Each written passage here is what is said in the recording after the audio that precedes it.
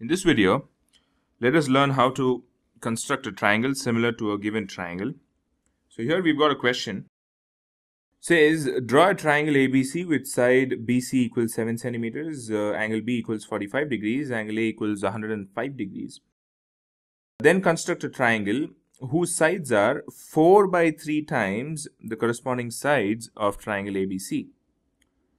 The important thing to note here is we need to draw a similar triangle which is or whose sides are 4 by 3 times the corresponding sides of the triangle ABC. That means we need to draw a similar triangle greater than the triangle that we're going to draw. So that's one important point to notice or take note. So now first of all, let us draw the triangle they've told. The triangle ABC with side BC equals 7 centimeter, angle B equals 45 degrees, angle A equals 105 degrees. So the first step here is draw BC equal to 7 centimeters we've got only one side. The data is BC equals 7 centimeters. And then we have angle B as 45 degrees. So we can use a protractor and draw the angle 45 degrees. So 45 is exactly here. So now join the point B to that point which we marked as 45 degrees on the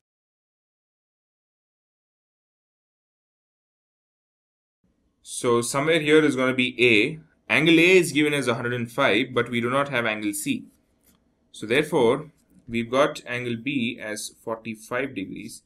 So we have angle B as 45 and angle A as 105 degrees. So let's find angle C. Angle C will be equal to 180 degrees minus 105 degrees plus 45 degrees, which is 180 degrees minus 150 degrees that comes around to 30 degrees. So angle C equals 30 degrees. So let's use a protractor. Keep the protractor at point C as accurately as possible and 30 degree comes here. So we just have to join this and this is the point A. So we've drawn the triangle ABC. Now we need to draw a similar triangle, a triangle that is similar to ABC, but uh, whose sides are 4 by 3 times of the sides of the corresponding sides of this triangle.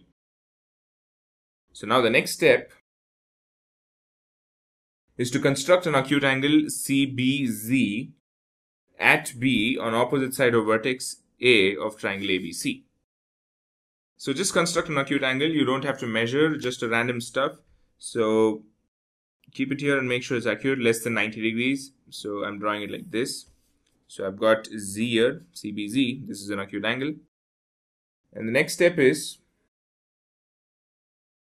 we need to mark off four points on BZ because the fraction is 4 by 3 here triangle that we're going to construct is going to be 4 by 3 times the triangle that we've constructed here. So it's greater. So also take the greater number of these two, which is 4. And now take the compass this measurement of any measurement that you want, anything convenient to you. I'm taking this one. Keep it on B and start cutting arcs on BZ. So here it is. And another one.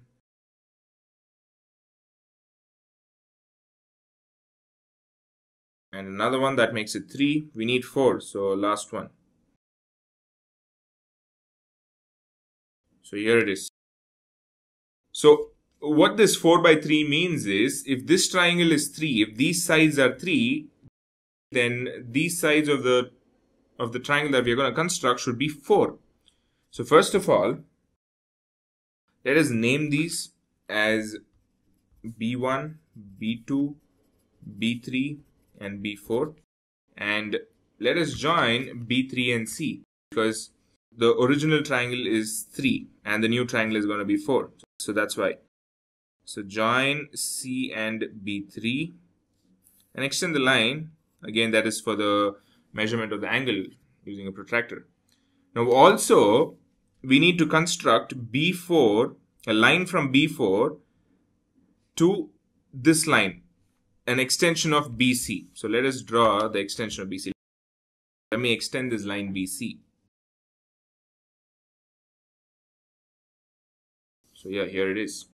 So now I need to draw B4, say let's name this C dash, B4 C dash such a way that it is parallel to B3C.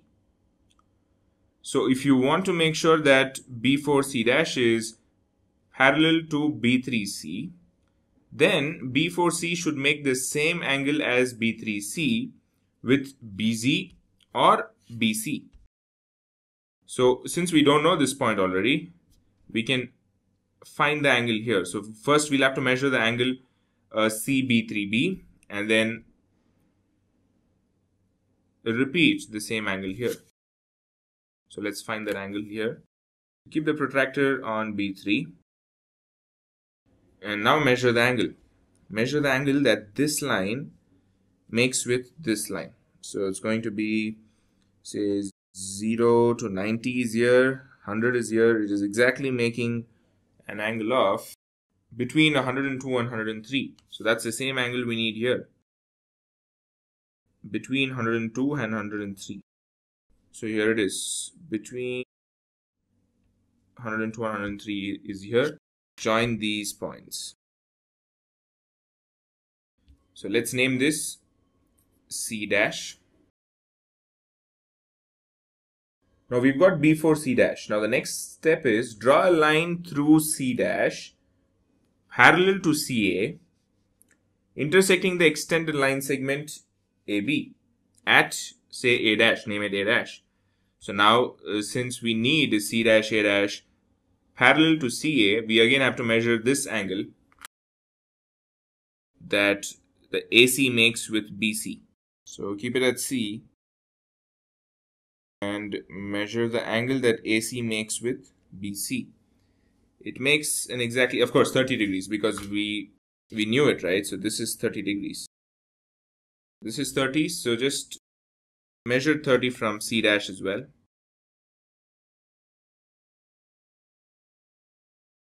So place the protractor exactly on C dash. Make sure you're accurate in this. Uh, any slipping is going to make the entire working wrong. So it's 30 degrees, mark 30 degrees here, and now join C dash to that point and extend it to meet A dash on the line AB. Here it is, and name this A dash. So now, triangle A dash B C dash is the triangle that we needed. So the triangle A dash B C dash is the triangle whose sides are 4 by 3 times the corresponding sides of the triangle ABC. So let's just check that once. So let's start off with say 7 centimeters. BC is 7 centimeters. Exactly 7. So 4 by 3 times 7 should be what? So let's find it out here. So let's say use this space for working out. So 4 by 3 times 7 is going to be 28 by 3. This is approximately going to be 9.33. 3 goes 9 times in 28 and there's one remainder which is 0.33333. So let's just measure BC now. Yeah, exactly. It is 9.333.